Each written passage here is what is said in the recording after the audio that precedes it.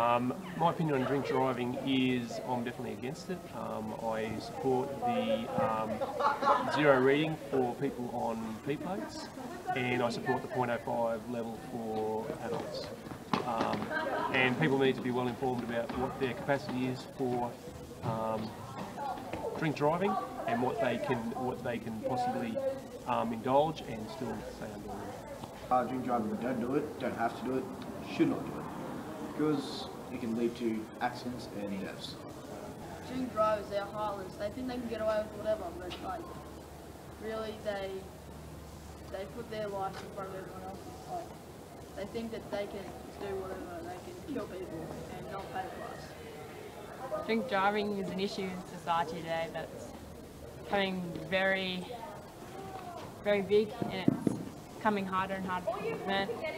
Um, it's killing lots of lives. Even on the free try and stop free fatality Friday, there was still an accident on the road showing that it's a very high percentage of um, percentage that you're going to have a crash once in your life.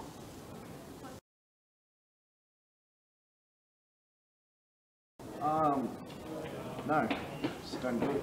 Okay. Um,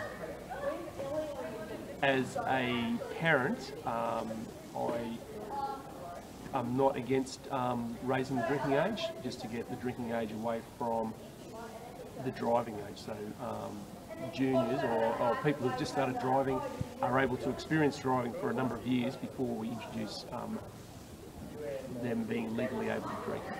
Thank you.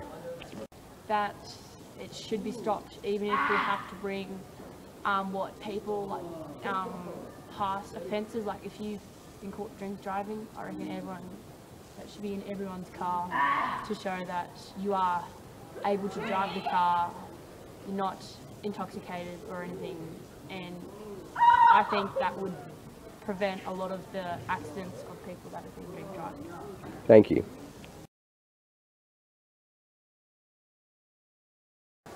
How do you think we can solve drink driving?